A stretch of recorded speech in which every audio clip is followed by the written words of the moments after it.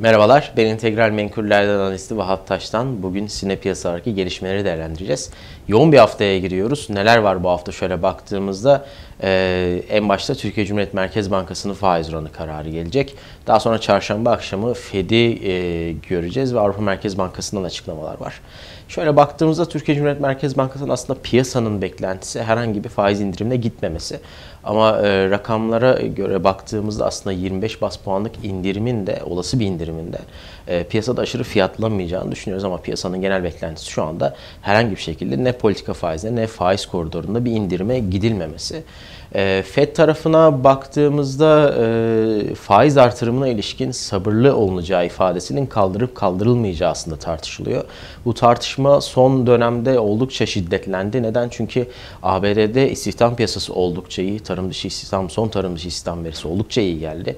Çekirdek enflasyonda bir toparlanma var ve aslında FED faiz artırımına e, her zamanki olduğundan daha fazla yakın. Bu da acaba çarşamba akşamı e, gelecek açıklamalarda faiz artırımına ilişkin sabırlı kavramı kaldırılacak mı, kaldırılmayacak mı? O tartışılacak. Eğer ki kaldırılırsa e, dolar kanadında e, tüm par tüm pariteler için tabii söylüyoruz bunu. Dolar kanadında ciddi bir şekilde değerlenme meydana gelebilir ve dolar endeksinde aslında yüzün üzerine de hareketlerin kalıcılık e, sağlanmasını takip edebiliriz.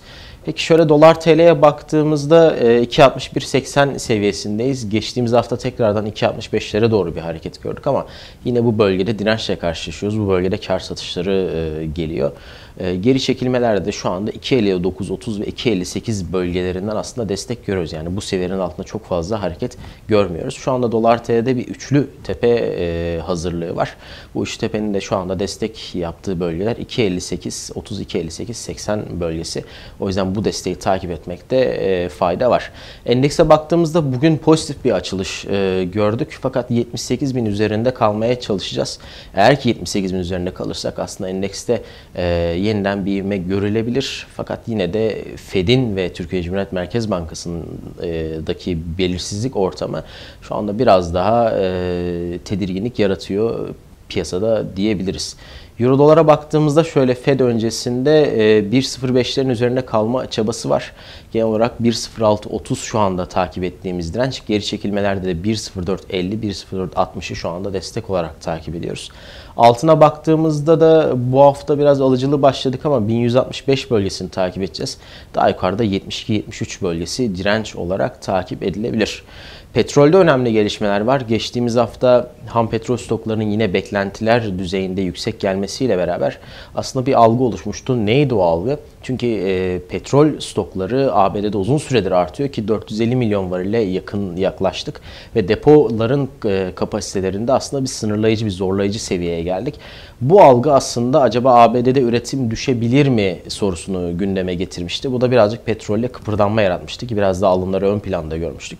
O algının biraz kırıldığını görüyoruz. Çünkü düşen fiyatlara rağmen, e, artan stoklara rağmen ABD üretim ABD'de üretim hala artmaya devam ediyor.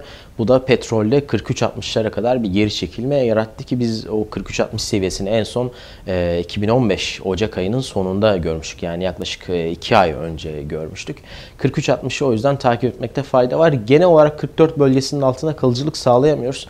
Ama özellikle 43-60 seviyesinin kırılması gündeme gelirse 41 ve 39 seviyeleri şu anda takip ettiğimiz e, ana desteklerden. Yukarıda da şu anda 45 bölgesi direnç olarak çalışıyor.